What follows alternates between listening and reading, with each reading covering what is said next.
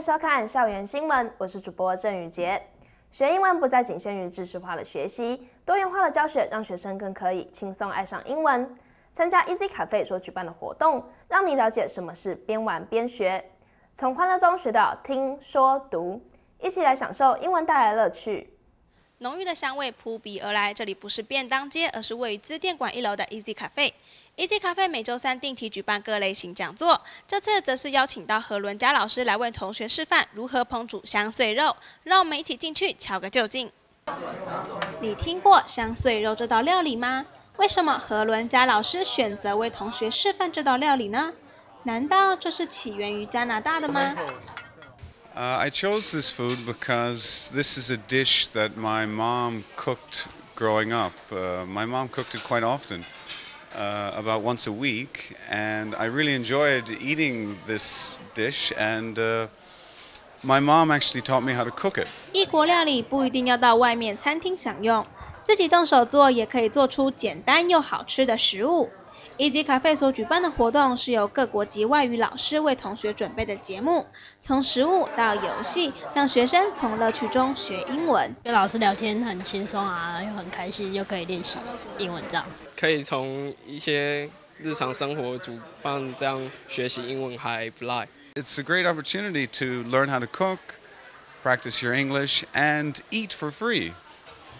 除了星期三的活动外，每周四也会举办电影之夜，让同学习惯用英文字幕看电影，从欢乐中也可以学习英文。赶紧把握每次参加活动的机会，Easy 咖啡欢迎你！逢甲新闻郑玉杰、赖雅轩采访报道。网络谣传手机可以拿来煮蛋，你相信吗？尤正奇老师的天线设计课程，借由课堂上的讨论，让各有所长的一般生与在职生相互交流，并且透过实验破除一些网络上的流言。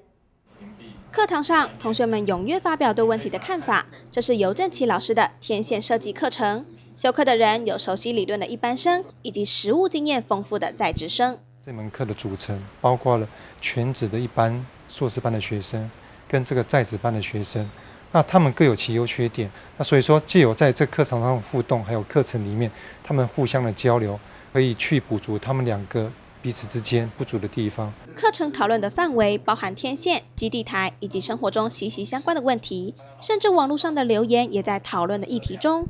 例如，之前网络上谣传手机发出的电磁波可以在一个小时内把一颗蛋煮熟，为了确定其真实性，就有班上的同学进行了一次比网络上更严谨的实验。它所辐射出来的这么小的一个瓦特数，那在空气当中，它已经事实上它已经被这个环境。所吸收，所以说你的热量所产生的，呃，对于这个蛋的一个变化，事实上是有限的。